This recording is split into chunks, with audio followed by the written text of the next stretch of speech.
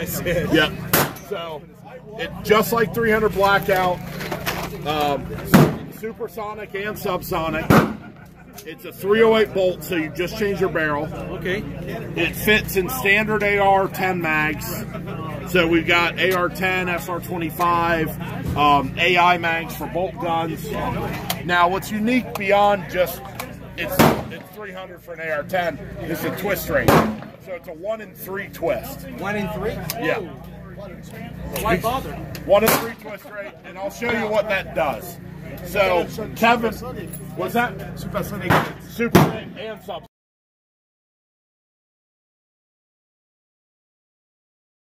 Phone. Check this out. It's got the it's got the 0.5 zoom. Zoom this out. There's only two of them. It's still.